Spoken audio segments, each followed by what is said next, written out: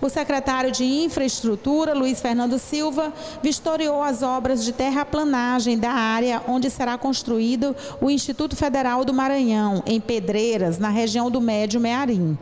As obras estão sendo realizadas no terreno localizado no Parque Henrique, bairro Diogo, quilômetro zero da MA 381. A previsão é de que sejam gastos 10 milhões pelo governo federal para a implantação de mais uma unidade do IFMA no estado. A construção do IFMA é uma conquista da região, mas principalmente de Pedreiras, porque a sede está em Pedreiras, e foi uma luta da governadora Rosiana junto ao governo federal para que isso pudesse vir para cá. Isso aí ainda na gestão do Lenoilson. E este grande prefeito, Totonho Chicote, abraçou essa causa, foi ao governo do estado, pediu a parceria, nós apoiamos a parceria está aqui transformada em realidade a construção do campus do IFMA na cidade de Pedreiras.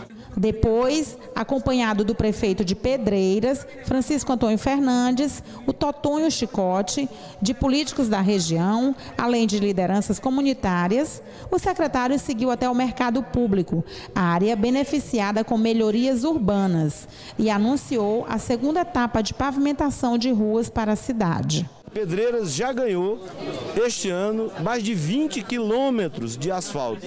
Uma parte disso já está feita, outra parte está sendo, é, já está sendo feita e outra parte vai começar ainda.